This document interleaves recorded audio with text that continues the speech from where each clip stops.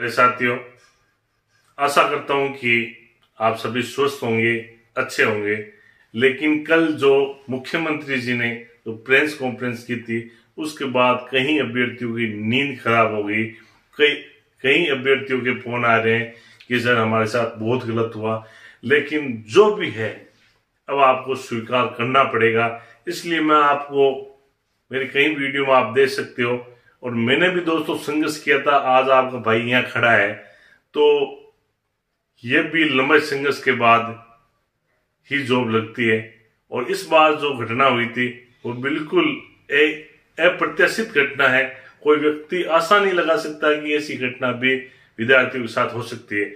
लेकिन जो होता है, जो हुआ है, उसको आपको स्वीकार करना पड़ेगा। गीता में यही कहा है कि जो हो रहा है, वो भी अच्छा है और जो होगा, वो भी अच्छा है। तो प्यारे साथियों, वर्तमान की परिस्थितियों को समझते हुए अगर आपने अपना कीमती समय खराब कर दिया तो आपको और हमको ज़िंदगी भर पछतावा रहेगा, क्योंकि समय के पास इतना समय नहीं है कि वो आपको वापस समय दे। और अभी भी समय, अभी भी समय है, ये बहुत अच्छी बात है। इसलिए आपको इस समय के तकाजे को ध्यान में रखते हुए, आज की जो अखबार की जो कई न्यूज़ है, सुबह से कई न्यूज़ आ रही है, टोक में किसी ने सुसाइड कर लिया और एक जो एलडीसी था, पीडब्ल्यूडी विभाग में, उसकी भी रिपोर्ट आई है और कईयों की जो सगाई हो रखी थी, वो लड़की वाले फ़ोन भी नहीं उठा रहे। तो देखो, इस प्रकार की अप्रत्याशित घटनाएँ होती रहती है। वर्तमान युग है, आर्थिक युग है, वर्तमान युग है, सफल लोगों के साथ सभी। इसलिए मैं आज आपके समय को ध्यान में रखते हुए मैं बात करूँगा कि अगर आपको जीवन में सफल होना है तो इन बातों को आपको छोड़ना ही पड़ेगा, क्योंकि जीवन अनमोल है और जो व्यक्ति ये सोच रहे हैं मेरे पास भी कहीं कमेंट आई कि सर, अब तो 40 साल के हो गए अब तो मर जाना, सुसाइड कर लेना। तो दोस्तों, सुसाइड करना कायरता की निशानी है। जीवन अनमोल है परीक्षाएँ आती है, जाती रहती है। एक समय था अपना भारत के लोग जो गुलाम थे, संघर्ष करके आज़ादी मिली है। आज आज़ाद भारत के नागरिक हो, आप सब कुछ कर सकते हो। एक किसान का बेटा एक ऐसी बातें करता है। राजस्थान की वीरों की भूमिका, वह व्यक्ति तो मैं उनसे निवेदन करना चाहता हूँ कि प्यारे दोस्तों, कुछ समय है, बुरा समय है, टल जाएगा।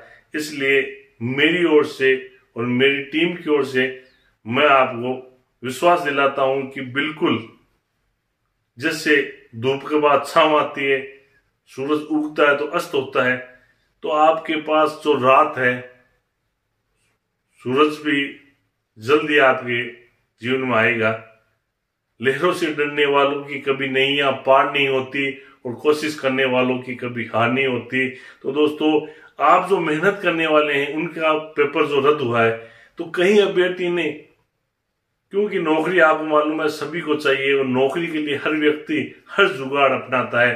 गरीब का बेटा है, वो भी कहीं से मांग के अपनी ज़मीन गिरवी रख के भी वो ये चाहता था कि भाई कैसे भी नौकरी लग जाए। तो उनकी उनकी क्या हालत है? जिन्होंने इस परीक्षा में जो पेपर आउट किया, वो देख रहे हो, आज ही लोग सुसाइड करने लग गए। तो आने वाला जो उनका क्या हाल होगा? तो आप ये सोचो, अगर आपने पेपर नहीं खरीदा है, और आपका कितना आपके सबको पॉजिटिव रखते हुए, क्योंकि जीवन में व्यक्ति अगर पॉजिटिव रखेगा तो व्यक्ति आगे बढ़ जाएगा। और अगर नेगेटिव थॉट लेते रहेंगे, ये सर तो क्या कर रहे हैं? और कई लोगों की नेगेटिविटी से दुनिया भरी हुई है। अगर इस नेगेटिविटी दुनिया में अगर आप रहोगे तो जीवन में आप कभी भी सफल नहीं हो पाओगे। ये मैं आपको लिख दे देता हूँ। क्योंकि हर जगह निराशा और हर जगह परेशानी और हर जगह ऐसे व्यक्ति आपको मिलेंगे जो हर प्रकार से डिसमोटिवेट करते रहते हैं। और आपको मोटिव रखना है, आप अपने लिए, अपने परिवार के लिए। मैं धन्यवाद देना चाहता हूँ उनके माता पिता उनके भाई और उनके परिवार को, जो इन जटिल परिस्थितियों में आपने तैयारी करवाई। और मैं आपसे ये निवेदन करना चाह रहा हूँ, जो भी ये वीडियो देख रहा है, उनको कि समय को ध्यान रखते हुए आप फ़र्स्ट ग्रेड आ रही है सेकंड ग्रेड है थर्ड ग्रेड है तीनों भर्तियाँ शिक्षक भर्तियाँ उसके बाद दोस्तों, कोई भी भर्ती वापिस मैं मानता हूँ अगर नई सरकार आएगी तो तीन साल नहीं आएगी। सारी शिक्षा विभाग में पोस्टें बढ़ दी गई है। अब बात रही फ़र्स्ट ग्रेड की छह हज़ार पद आ रहे हैं। इसमें भी पद बढ़ेंगे, मैं आपको बता देता हूँ। सेकंड ग्रेड में भी सरकार कुछ बढ़ा सकती है। और थर्ड ग्रेड में तो सरकार ने बासठ हज़ार पदों पर कर दिया। तो अब इसमें तो दोस्तों, पद बचेंगे नहीं तो फिर वापस किसमें आएगी वैकेंसी। और अगर आपने कीमती समय बर्बाद कर दिया रीट में ये हो रहा है, वो हो रहा है, पिछले चार महीनों से व्यक्ति कंफ्यूजन की स्थिति में चल रहा है। तो दोस्तों, मैं आज बिना वक्त गंवाए आपके लिए जो मोटिवेशन के लिए जो आगे क्या करना है आपको, उससे समित मैं चर्चा करूँगा। जो दो पेपर होने वाले हैं, सभी को मालूम हो गया। लेवल फ़र्स्ट का जो पेपर है, उसको किसी प्रकार से निरस्त नहीं किया गया है। पंद्रह हज़ार पाँच सौ पदों पर जो भी ज्वाइनिंग है, सरकार उनको तय समय पर ज्वाइनिंग देगी। लेकिन उस समय भी आपको मालूम है कि लगातार कह रहे हैं कि उसमें भी बड़े खुलासे होंगे। इसलिए सरकार को उनके भी आंकड़े शो कर देने चाहिए कि 140 तक इतने हैं 135 तक इतने जिससे व्यक्ति कंफ्यूजन की स्थिति में न आए। अभी भी कई विपक्षी पार्टियाँ से भी अपना अपना राजनीतिक धर्म हो, चाहे अपना अपना सभी कार्य करें, और एक विद्यार्थी को अपनी तैयारी पर ध्यान देना चाहिए, क्योंकि आपकी वो शक्ति, आपको मालूम है चाणक्य ने क्या कहा था? जब उसको धनानंद ने भरी सभा से निकाल दिया तो उन्होंने कहा कि कि शिक्षक वो होता है जो अपनी आजीविका और शिक्षक वो महान व्यक्ति होता है जो कहीं राज्यों का निर्माण कर सकता है और राज्यों का सर्जन और विध्वंस उसकी कलम की ताकत और उसमें बसता है। तो प्यारे विद्यार्थियों, जो भी तैयारी करने वाले हैं, मेरा निवेदन है कि वो चाणक्य की उस देश के, पहाड़ देश के आप वासी हो, जिसको पूरा विश्व मानता है तो आपको अब जो भी परिस्थितियाँ है, उनको तैयारी करनी है और फालतू बातों से आपको दूर रहना है। और अब बात करूँगा मैं जो रीट पर, बासठ हज़ार पदों पर जो रीट है उसमें से पंद्रह हज़ार पाँच सौ पद जो लेवल फ़र्स्ट है, उनमें किसी प्रकार की नहीं है, अभी तक और उनकी ज्वाइनिंग तय समय पर हो जाएगी।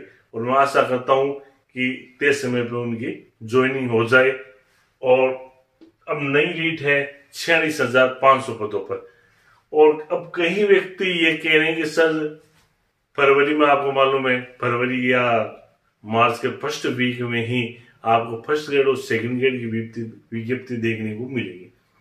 और छह हज़ार फ़र्स्ट ग्रेड के और सेकंड ग्रेड के दस हज़ार पद है। अब कंफ्यूजन की स्थिति हो रही है कि सर मैं सेकंड ग्रेड की तैयारी करूँ या जेट की तैयारी करूँगा।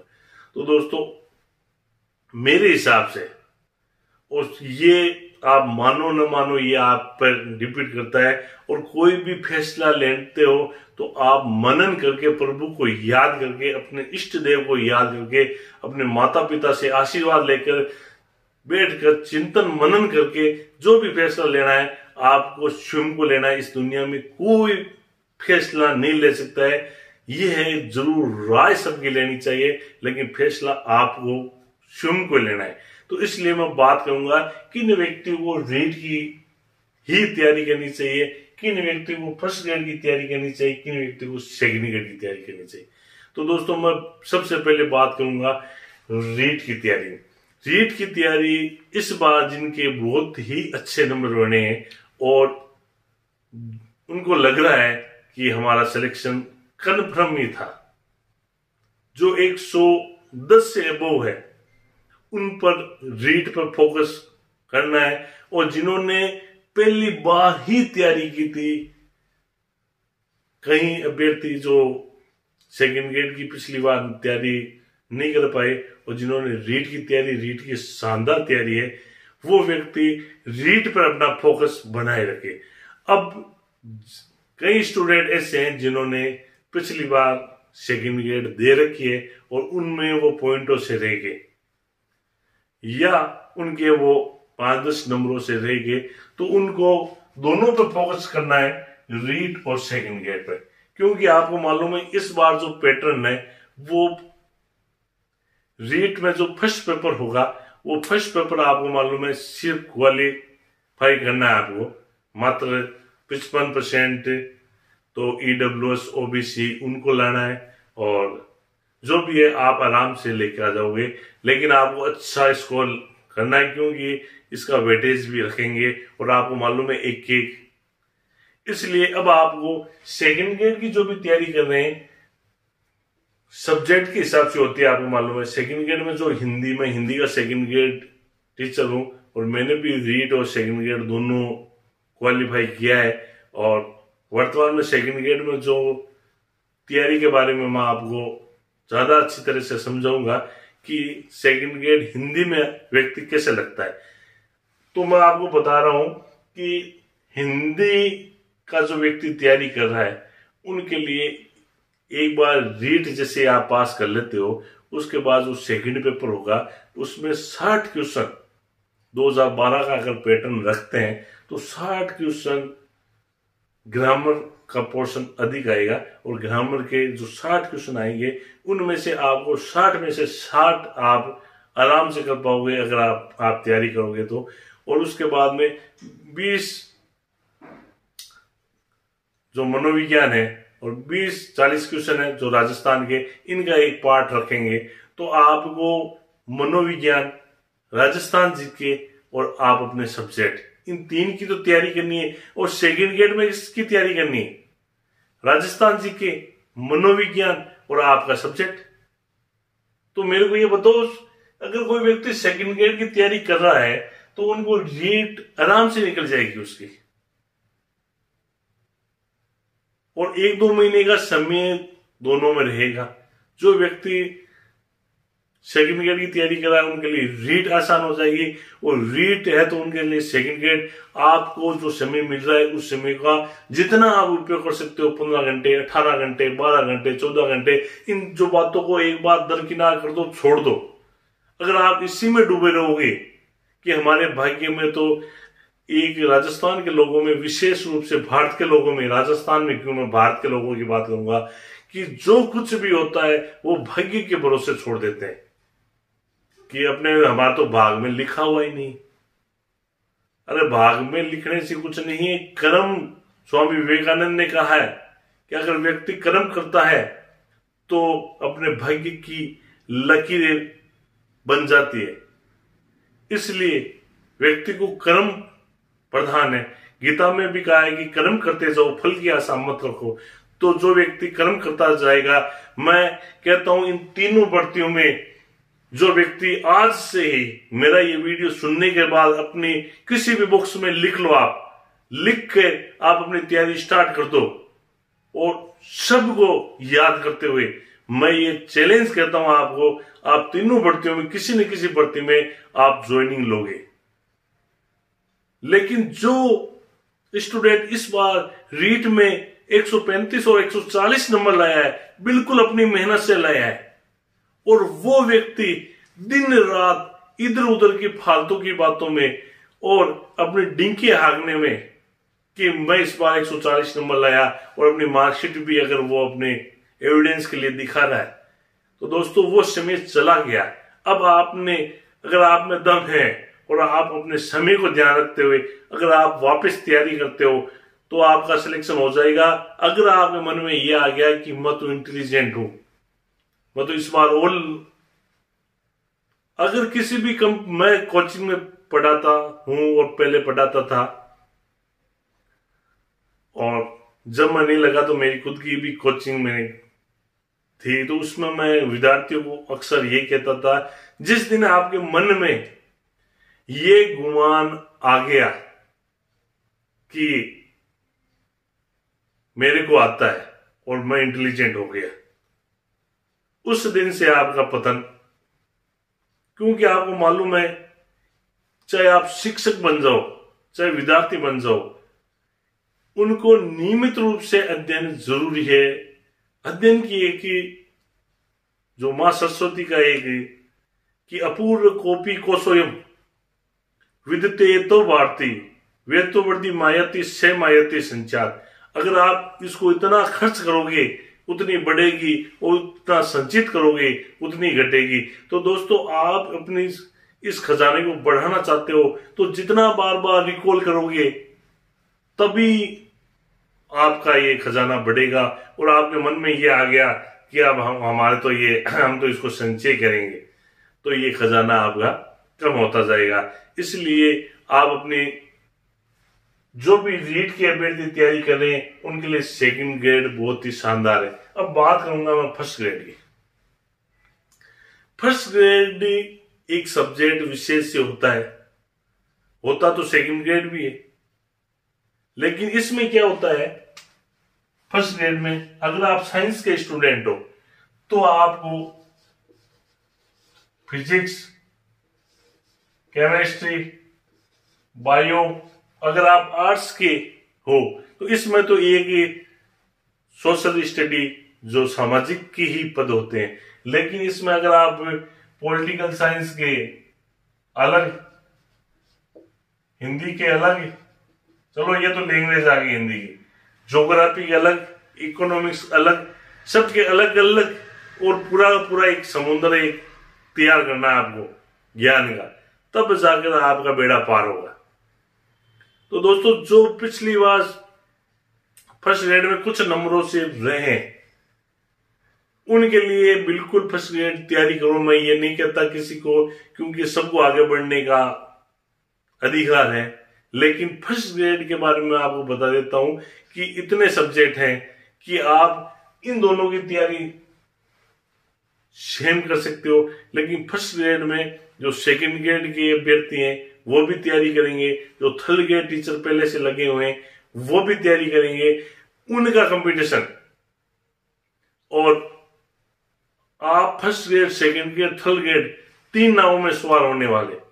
इसलिए जो भी सोच समझ के आपको फैसला लेना है, लेकिन सेकंड ग्रेड और इन दोनों के लिए आपके बहुत ही शानदार अवसर है। पिछली बार जो कोई पॉइंटों से रहा है जिनकी पहले से तैयारी हो रखी है। वो व्यक्ति ज़रूर फ़र्स्ट ग्रेड की तैयारी कर सकता है। और अगर दो महीने का, तीन महीने का मेरे को लगता है, सभी एग्जामों में कुछ टाइम रहेगा तो टाइम रहता है तो आप कर सकते हो। मैं ये किसी को मेरे मंच के माध्यम से मैं किसी की प्रतिभा पर ये प्रश्न चिन्ह नहीं लगा रहा हूँ कि आप फ़र्स्ट ग्रेड की तैयारी मत करना। लेकिन आप ये ध्यान रखना कि अगर आप तीन नावों में सवार होंगे तो उन नावों को आप पार कर सकते हो क्या पिछली बार मैं आपको बताऊँ, मेरा एक दोस्त था जो सेकंड ग्रेड और फ़र्स्ट ग्रेड पिछली बार दोनों वैकेंसी आई हुई थी। मैंने उनको कहा था कि आप सेकंड ग्रेड की तैयारी करो। सेकंड ग्रेड में क्या होता है कि जो ग्रामीण पृष्ठभूमि के व्यक्ति हैं, उनको कहीं समस्या रहती है कि उनको मैथ नहीं आती। कईयों को नहीं आती मैथ। कईयों को इंग्लिश नहीं आती। कईयों को साइंस नहीं आती।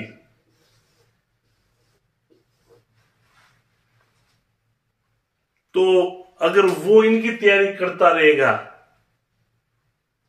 तो पूरा पूरा समय उसमें खराब हो जाएगा। और इनमें जो शिक्षण विद्या है, वो शिक्षण विद्या आपके रीट में आएगी जो शिक्षण विद्या आपकी आ रही है, वो हिंदी में जो शुरू में फ़र्स्ट पेपर होगा, उसमें रीट में आई हुई कोई टेंशन वाली बात नहीं, व्याकरण का पोस्ट वो है। उसमें कुछ हिंदी साहित्य इतिहास वगैरह, अगर आप सब्जेक्ट की तैयारी मान रहे हो हिंदी की, मैं बता रहा हूँ आपको। इंग्लिश में तो इंग्लिश में कुछ ही चेंज है और आपका सेकंड पेपर सेम है डिटो तो आप अपनी तैयारी बिल्कुल कर सकते हो। लेकिन दोस्तों, मेरा इस मंच पर आने का और आपको जो मेरे सारा दिन से फ़ोन आ रहे थे कि सर, अब हम क्या करें? हम डिस्टर्ब हो गए, हम सेकंड ग्रेड की तैयारी करें या ये करें, हमारे बहुत अच्छे नंबर थे। अब तो दोस्तों, मेरे को भी बहुत दुख हो रहा है, क्योंकि एक जो मेहनती व्यक्ति जब अपने नाव के पास आ गया किनारे पर और वापस वो अगर समुद्र में डूब जाता है, वापस उसको तैरना पड़ता है तो दुख तो होता है। बिल्कुल आपको दुख होता है, मैं भी आपको महसूस करता हूँ। लेकिन आपके पास अब इसके अलावा कोई चारा नहीं है। अगर आप पुरानी बातों को याद करते जाओगे, पुरानी बातों को याद करते जाओ, अपना वक्त बर्बाद करते जाओ, अब जो मैंने पहले भी वीडियो में कहा है, संघर्षों की कमी नहीं है जीवन में। संघर्षों की कमी नहीं है जीवन में। जो संघर्ष है, ये आप देख रहे हो कि वर्तमान में आपने अच्छे नंबर बनाए, अच्छी मेहनत की। कोरोना के काल में जब व्यक्ति एक ही रुपये दाने के लिए दुनिया तरस रही थी। पूरा संसार त्राईमाम त्राईमाम कर रहा था। उस समय किसान के बाद में अगर कोई मेहनत कर रहा था तो वो बेरोजगार कर रहा था। अपने सुनहरे भविष्य को लेकर उसी समय वो सबने सजो रहा था। शहर में बैठकर किसी कमरे में लेकर खुद खाना बना रहा था। बहुत ही मेहनत और प्रयास कर रहा था वो। लाइब्रेरी भी जा रहा था। कई प्रकार से वो अपने आप को समायोजित कर पा रहा था। उनके घर वालों को भी भयंकर और कईयों की, आप ये देख सकते हो स्क्रीन पर, कईयों की जो सगाइया है, वो भी खतरे में आ गई। तो दोस्तों, होता है, बिल्कुल होता है। ये दुनिया उगते हुए सूरज को सब सलाम करते हैं, सब देखते हैं। अस्त हुए को कोई नहीं देखता है। तो दोस्तों, बिल्कुल आप जल्द ही सूर्य की तरह चमकोगे। लेकिन अगर आपने एक दूसरे पर छिंटा कसी कई व्यक्ति ये होते हैं जो एक दूसरे पर दोषारोपण करते रहते हैं और अपना समायोजन करते रहते हैं। अरे, किसका नुकसान हो रहा है?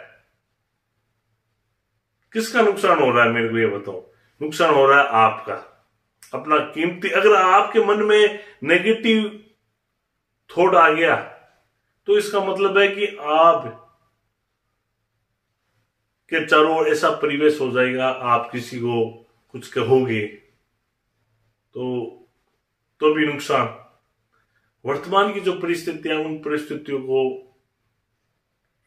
संभाल कर मात्र 2022 ज़्यादा समय मैं नहीं कहूँगा। 2022 आप मेरे कहने से, या अपने माता पिता और समाज, परिवार, अगर अपने बच्चों के लिए, अपनी पत्नी के लिए और आप 2022 ध्येय रखकर आप तैयारी कर लोगे तो आप का जीवन उज्जवल हो जाएगा और आप सफल हो जाओगे। दोस्तों, सबके साथ जीवन में कुछ न कुछ घटनाएँ होती ही रहती है और ये कि घटना मानकर आप इसको साइड में कर लोगे, क्योंकि एक जो मेहनत करने वाला जो बेरोजगार है, उसने मेहनत की है। अब आप देख सकते हो कि जब आंकड़े बताए जा रहे हैं, एक सौ चालीस से ऊपर एक लाख कुछ है। अब उन आंकड़ों से मेरा कोई लेना देना नहीं है। मैं इस मंच पर राजनीतिक बात नहीं करता हूँ और मैं इस मंच पर सिर्फ़ जो मेरे स्टूडेंट जो पहले रहे हुए हैं और जो मेरे यूट्यूब यूट्यूब देखते हैं और मेरे फॉलोवर हैं, उन भाइयों से मेरा एक निवेदन है, एक भाई होने के नाते और एक आपके, मैं भी जो शिक्षक लगा हुआ हूँ, मेरे को भी मालूम है कि किन परिस्थितियों से मैं लगा था उन परिस्थितियों पर अगर आप खरे उतरोगे तो मैं मानता हूँ, मैं आशा करता हूँ कि भगवान जल्दी आपको सफल बनाएगा। और first grade, second grade, third grade, जो भी वैकेंसी है, इसके अलावा भी कई वैकेंसी है, लेकिन आप इनको फोकस रखते हुए सबसे शानदार छियालीस हज़ार पाँच सौ जो पोस्ट है इसमें जो सेकेंड लेवल के लिए सुनहरा अवसर है तो आप अपने समय को ध्यान रखते हुए अब आप अपनी तैयारी करें और इसी के साथ अब मैं वीडियो से विदा लेता हूँ। किसी प्रकार की और जानकारी चाहिए आपको, अब जो फ़र्स्ट दो पेपर हो गए एक कमेंट जो सबसे अधिक पूछा गया क्वेश्चन है, मैं आपको ये और बता देता हूँ कि वर्तमान में ये जो दो एग्ज़ाम होंगे, सर, पहला एग्ज़ाम कब होगा ये क्या मई में हो जाएगा कि पहले जो मुख्यमंत्री जी ने घोषणा की थी, क्या ये मई में एग्ज़ाम हो जाएगा? दोस्तों, मैं कहता हूँ, ये मई में तो एग्ज़ाम नहीं हो सकता। अब ये एग्ज़ाम होगा जुलाई तक। जुलाई तक आपको जो रीट का एग्ज़ाम है, जो क्वालिफाई करना है आपको, ये एग्ज़ाम हो जाएगा। उसके बाद दो और तीन महीने का आपको समय लगेगा। उसके बाद में आपका मेन एग्ज़ाम करवा दिया जाएगा। यानी 2022 आपके लिए बिल्कुल संघर्ष भरी है। इसलिए ये मैंने आपको बता दिया है। अब कई अभ्यर्थी ये कह रहे हैं कि सर, दो एग्ज़ाम नहीं होने चाहिए, एक एग्ज़ाम होना चाहिए और वो होना चाहिए, वो होना चाहिए। वो दोस्तों, बिल्कुल आपका हक है। आवाज़ उठाओ, लेकिन ये सरकार का काम है। मैं सरकार से निवेदन करता हूँ, क्योंकि बेरोजगार बिल्कुल परेशान है। एक जो पंचायती राज उसमें जिला वाइज मेरिट जिला परिषदों के माध्यम से जो पिछली बार हुई थी 2012 में, उसमें कहीं कोई क्वेश्चन मान रहा है और दूसरा जिला परिषद उसको नहीं मान रहा है, कहीं इसी प्रकार की उस समय बहुत ही कंफ्यूजन भरी स्थिति आई। और सोशल मीडिया पर भी जिससे बेरोजगार कंफ्यूजन होता है तो मैं राजस्थान सरकार से ये निवेदन करता हूँ मेरे मंच के माध्यम से कि जो भी मेरिट बने, वो प्रदेश स्तरीय मेरिट बने और एग्ज़ाम करवाएँ, वो अच्छे संस्थान से करवाए और जो भी कानून बने, वो कानून इतना शानदार बने कि कोई भी पेपर बेचने वाला हो तो कोई पेपर लेने वाला नहीं मिले। ऐसा पेपर हो, उनकी संपत्ति जब्त कर ली जाए और आजीवन पेपर सही अगर वो पाया जाता है तो आजीवन कारावास की सजा होनी चाहिए। दोस्तों, आजीवन के बारे में मैं आपको बता देता हूँ, मैंने लो कर किए मैं वकील भी रहा हूँ। तो आजीवन का मतलब होता है बीस साल। तो उसको बीस साल की मिनिमम सजा, उनकी संपत्ति जब्त कर लेनी चाहिए। और सरकारी कर्मचारी को पाया जाता है तो उसको नौकरी से बर्खास्त कर देना चाहिए। और इस प्रकार के अगर आप लाओगे तो राजस्थान की जनता आपको सर आँखों पर रखेगी। बाकी आपको बेरोजगारों के साथ अभी की जो स्थिति है, बिल्कुल दुखदायी है मैं ये मानता हूँ। और मैं इस चैनल के माध्यम से आपकी पीड़ा को मानता हूँ और मैं आपके किसी प्रकार से काम आ सकूँ, किसी प्रकार और कोई समस्या है तो नीचे कमेंट बॉक्स पर लिखे और मैं वीडियो से विदा ले रहा हूँ। जय हिंद, जय भारत धन्यवाद